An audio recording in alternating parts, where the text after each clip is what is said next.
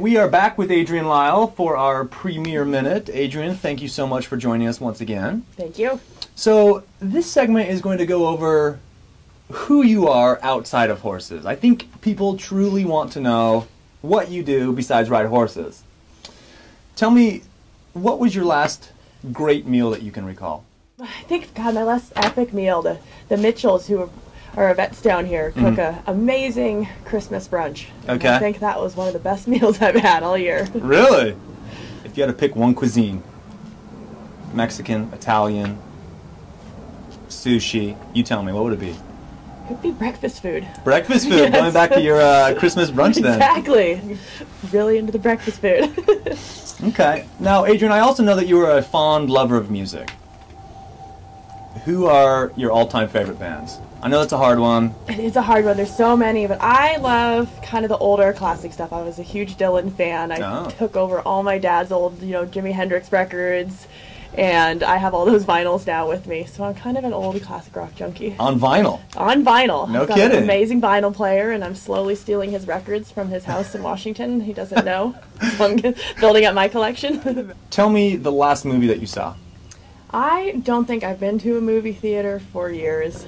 I have kind of limited attention span when it comes to making myself sit down in one place and focus on one thing. Sure. I'm probably the most annoying person to try to watch a movie with at home because I'm up and down 30 times and I'm doing this and that and getting distracted. And so I generally don't go to the movies very often. Okay, well, what, uh, not movies, have you read any good books lately? Well, just finished Margaret Atwood's Handmaid's Tale. That was an interesting one. Okay, all right.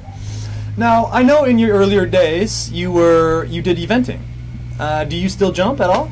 I do occasionally. Sometimes um, Bob will let me sit on some of the hunter jumpers at the barn, Uh-huh. and I actually have my younger cousin um, Maya Black, who I'm very close to. We kind of grew up like sisters. We grew up on the same farm together. She is a big eventer. Oh, Um, she's uh, does you know the three star events, and she's back east now. Okay. And she comes to Idaho usually in the summers for about a month for me to help her with her dressage, and so she'll throw me up on her eventing horses, and we can go play around and jump some cross country jumps when she's there. Much littler than I used to, but it's still fun to get out of the dressage arena. you still get that thrill? oh yeah.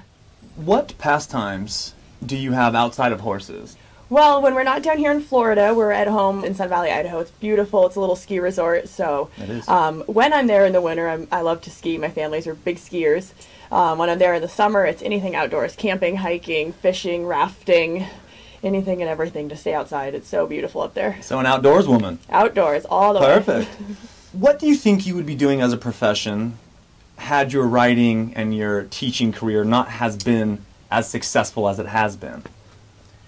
I What was your contingency plan, in other words? I had no contingency plan, so I got lucky. I think I'd be wandering around the world aimlessly traveling. I honestly, I remember being in like third grade and you had to take those aptitude tests, and it was Mhm. like, what are you going to be as a career? And all I like, like failed all of them because I was like, I'm going to train horses, and they were like, that's not a job, Adrienne, that's a hobby. And so I just remember failing every career aptitude test the whole time. So.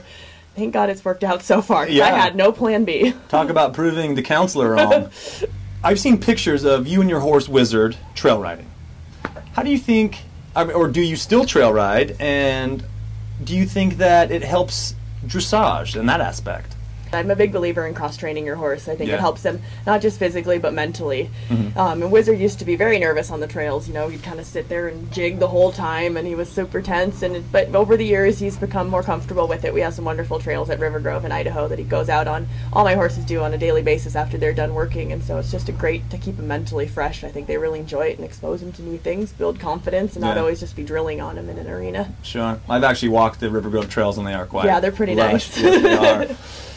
Tell us something that we, meaning the fans, don't know about you. I think what a lot of people don't know is that I did not come from a horsey family at all.